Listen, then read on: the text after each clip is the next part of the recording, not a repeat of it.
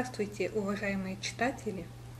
Обычно мы в своих видео говорим о книгах, выдающихся писателей, а это видео будет посвящено периодическому изданию, журналу iCap. Этому есть две очень важные причины. Во-первых, в этом году 110 лет с момента выхода первого номера журнала iCap, а во-вторых, этот год у нас проходит под э, символом 30 лет независимости. И, конечно же, к независимости мы шли несколько поколений. И можно сказать, что журнал ICAP стал кирпичиком по строению нынешней нашей независимости. Основан он был в городе Троицке в 1911 году.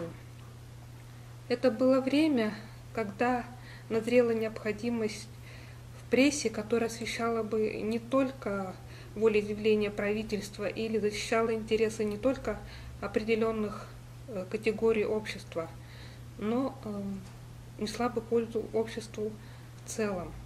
В то время Мухаммеджан Тиралин работал учителем. Он много общался с людьми из разных слоев общества и понимал, как можно помочь этим людям. Вот что он пишет в одной из первых своих публикаций в журнале «Айкап». «Наша цель – это не получать доходы, выпуская журнал», – говорил Сиралин, – «а служить своему народу. Я перед собой поставил следующие задачи. По мере своих сил разъяснять народу пользу построения поселков на землях, пригодных для земледелия. Объяснить народу, какой вред наносит ему борьба многочисленных партий, которые одну часть народа противопоставляют другой – какие изменения необходимо внести в образование, показать, в каком положении находятся наши женщины. Из этой цитаты уже видно, насколько он был готов руководить газетой, насколько точно знал направление. У Мухамеджана Сиралина не было журналистского образования, но он был очень талантливым организатором и имел писательский талант.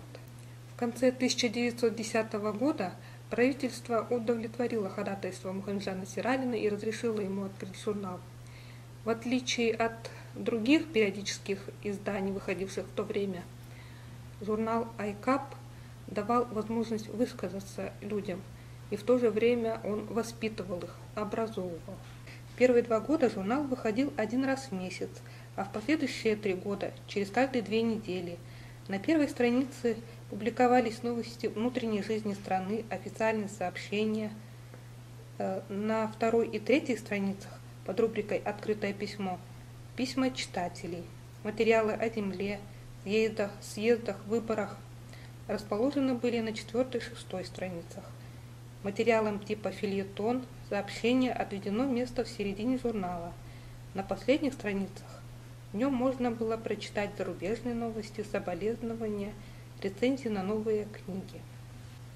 То, что в журнале имелись уже постоянные рубрики, говорит об отличной э, работе редакторов, журналистов. У журнала имелись корреспонденты в отдаленных э, краях Казахстана, Шимкенте, Кызылорде, э, Кызылжаре, Семипалатинске. В журнале в то время работали такие люди, как Сикен Сейфулин, Беймбет Майлин – и многие другие. Даже после закрытия газеты многие из них продолжали очень активную общественную деятельность, и многие из них были впоследствии репрессированы. Ахмед Байтурсынов публиковал в журнале «Айкап» свои первые работы по казахскому языкознанию. Также в «Айкап» публиковались переводы многих произведений, например, Шахнаме, Фердауси, в журнале рассматривались вопросы э, аграрные, товарно-денежные отношения в ауле, обсуждалось положение женщин, активно дискутировался вопрос о, о переходе на оседлый образ жизни.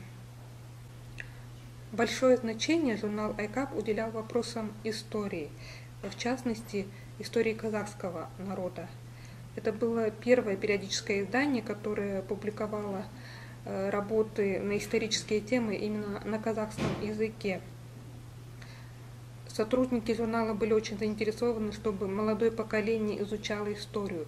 Ведь именно история учит нас, а, каким должно быть наше будущее, учит нас на своих ошибках.